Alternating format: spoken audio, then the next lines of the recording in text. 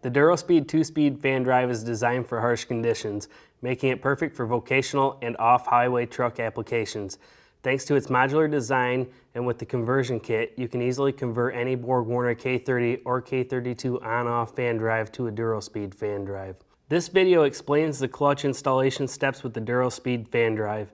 Before you can install the DuroSpeed kit, you'll need to remove the fan clutch that's being upgraded from the vehicle.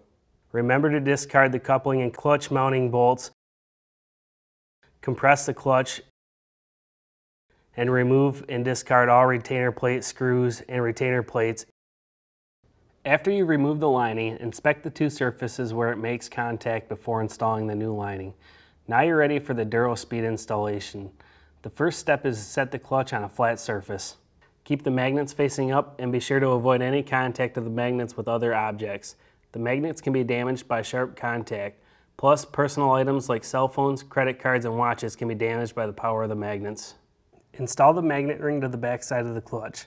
With magnets facing away from the clutch, fasten the magnet ring with the new fasteners provided.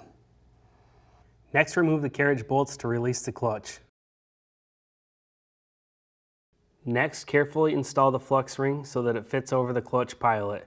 It will only properly seat on the clutch in one direction. Use caution when handling the flux ring as it will be attracted to the magnets on the clutch. Now make sure that the holes in the flux ring are lined up with the holes on the clutch. You're almost ready to install the DuroSpeed clutch, but before you do, loosen the fan belts and inspect the hub condition.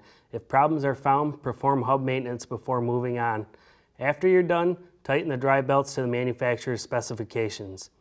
The next step is to make sure that the black plastic coupling is installed on the hub shaft. You'll need to remove the old rear O-ring and install the new one. Apply grease from the packet to the new O-ring. Install the clutch onto the hub, being careful not to disturb the flux ring. Rotate the black cap of the clutch to align and engage the flats of the clutch with the flats on the coupling. You'll want to check that the mounting face of the flux ring is fully seated against the face of the pulley. It should be the only portion of the flux ring contacting the pulley. Next, align the holes on the clutch, flux ring, and pulley. Install the six new clutch mounting screws through the clutch into the pulley, then torque to 50 foot-pounds. If you're handling the clutch and hub assembly outside of the vehicle, do not pick it up by the flux ring. This could deform it. Following these steps, you'll be able to successfully install the DuroSpeed fan drive and easily and inexpensively upgrade to a two-speed fan drive that provides better performance. If you have any questions, please contact us at the number on the screen.